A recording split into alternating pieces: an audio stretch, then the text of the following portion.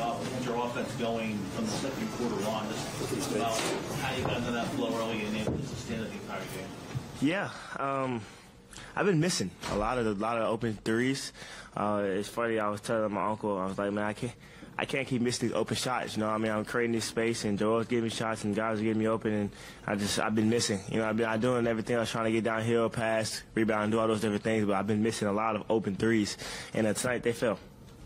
When you let that last one go, that got you 50, um, just what was going through your mind? Can you just take us through that moment, just letting it go, the crowd reacting, your teammates reacting, just that whole sequence? Yeah, I think. Um, Joel Joel needed me to get wanted me to get 50 more than I think myself did.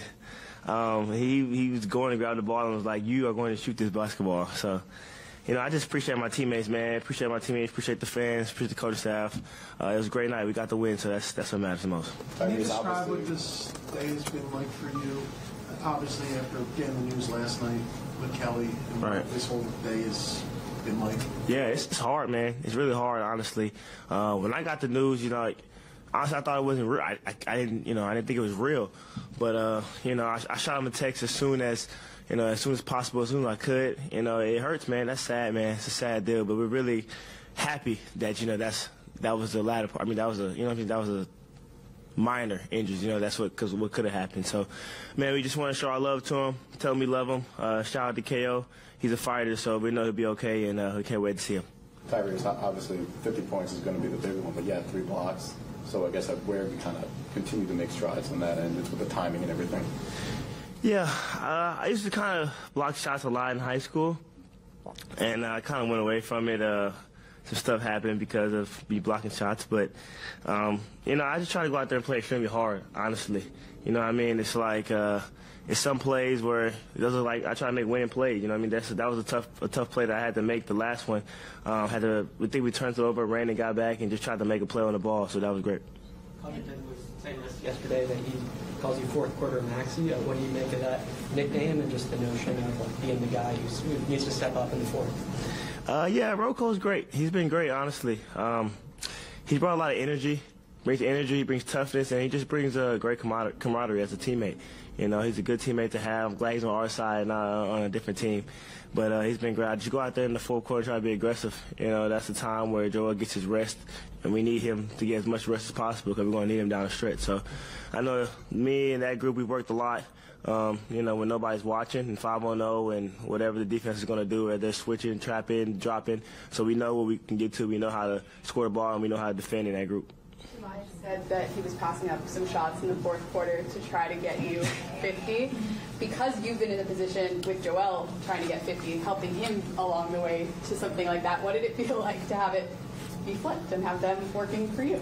Yeah, you know, uh, it was great, man. Those guys are amazing.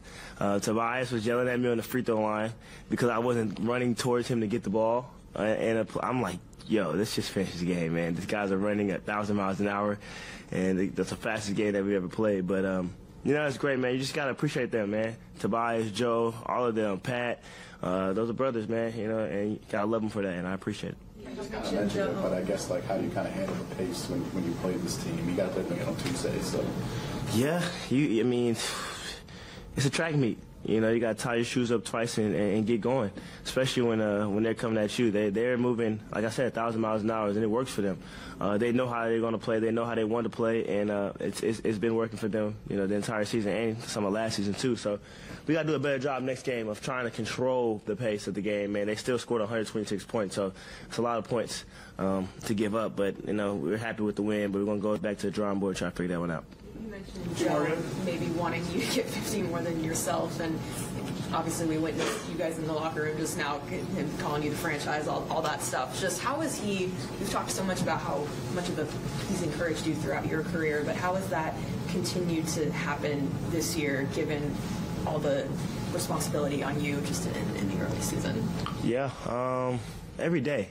He's on me every single day. It's like, uh, like literally like big brother, little brother. Like you know, when he when I come over, sometimes he passes me the ball and I don't shoot and I drive and do anything else. Um, I know that I'm going to get an earful from Joel Embiid. So uh, you just gotta appreciate that, honestly. You know, that's the MVP of the league. You know what I mean? And um, for him to have trust in us as a team, him to have trust in myself, I just appreciate it. And I just go out there and try to be my best for him. Iris, a lot of a lot of people have mentioned in, early in this season about the the two shots that Mike Muscala hit in the bubble for the Thunder to win for the pick that became you to convey. Is that something that you've ever kind of thought about as you've developed in this in, with this franchise? I hear it so often. Bub reminds me. Uh, security reminds me at least I don't know twice a month. But uh, you know, I've seen it. You know, that's it's great. I mean, that's cool. I I mean that's just ironic, I guess. You know, shout out to Mike. I like being here. So. It feels like every time you release it, there's something different about it, whether it's the foot you shoot it off, or the angle, or the distance. How important is it for you to kind of mix it up on those shots to keep the defense guessing? Yeah, uh, it's important because I can't get all the way to the rim and shoot like layups.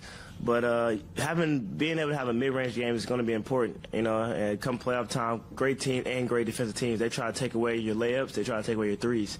So being able to score in the mid-range, whether it's a pull-up jump shot, whether it's a floater, whether it's uh, giving the ball to the best probably mid-range shooter in the NBA, Joel, um, those things those things are good for us. And um, you know, that's been great so far. I'm just trying to be aggressive, whether that's scoring, passing, getting my teammates involved, whatever. As long as it um, contributes to winning, then I'm happy. All right, setting aside getting the earful from Joel and you know, Coach Nurse's messaging on getting up a lot of shots, where do you feel like you're at in terms of managing those different responsibilities of playmaking for everybody and finding your own offense? Yeah, I just I'm just trying to be aggressive, trying to be aggressive and do it the right way.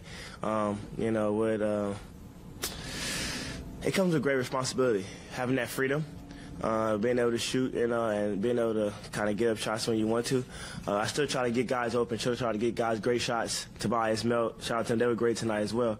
Um, and, and, that's what I've been trying to do. And, and that balance is hard, but you know, it's part of it. It's part of it. I appreciate my teammates and the organization, the coaching staff for being patient with me. So I just go out there and try to my best to help us win games. Terrence, you talked about it periodically over the last few years, but when you were a rookie, it was can he shoot? When you were a second year, it was can he be a primary ball handler? Can he be a primary scorer? All these things, right? Can you put a performance like tonight in context of the doubts that have been thrown at you kind of needlessly throughout your career so far? Uh, I appreciate them. You know, I appreciate it. I mean, I think I was always a decent shooter in high school and stuff. You know, I missed some shots at, at, at UK. Cal's gonna call me about that, but um, you know, it, it, doesn't bother me. You know, it doesn't bother me. It helps me though. It helps me though. Having those people um, doubt me or whatever. Um, you know, it just it keeps my keeps me humble, keeps me able to go into the gym every single off season, every single day, and work on my game, work on my craft, and try to be the best possible version of myself. Thanks, Darby. To it, you know, my former team, I, I wasn't doing that at all. I used to, no. Like the first part of my career, the first 10 years of my career was like a ball handler, point forward guy. So just, just practice, gotta get back to it. But, you know, they get that trust in me. You know, when you got the coaching staff and the players, even Joe like told me like, take the ball and you and me play two man game. So when the MVP say that to you, when your teammate trusts in you, I mean, yeah, I got to get back to it and make sure I can bring that to that team as well. And see, that's what I was going to ask you. Like, you know, how has this experience been for you? Has it been, you know, when you get traded, sometimes you don't know. Like, you're used to what you're used to. And then you, you come here, and did you think it's way better than what you expected? Is it really exciting for you playing with this group? Uh, yeah, I mean, no, I got to be honest, and I'm always honest with the media sometimes. It costs me. But now, you know, when I when I got traded, I mean, I had no idea what to expect. To be honest, you know, I, I got cut off guard. I mean, I didn't expect to be traded. I mean, I was pretty sure I'm going to end up my career over there with a certain type of role, a glue guy, like, you know, play around guy. That was my that was my role. That was cool with it though. Yeah. And I'm coming over, still being that guy, but a little bit more. Like I played 33 minutes tonight with the number one team in the East. I mean, I didn't expect that last week, to be honest. And that's cool though. That's cool. Now, you know, I'm a basketball player first. Basketball player. Now we're winning games. Great coaching staff, great energy. You know, it's fun though.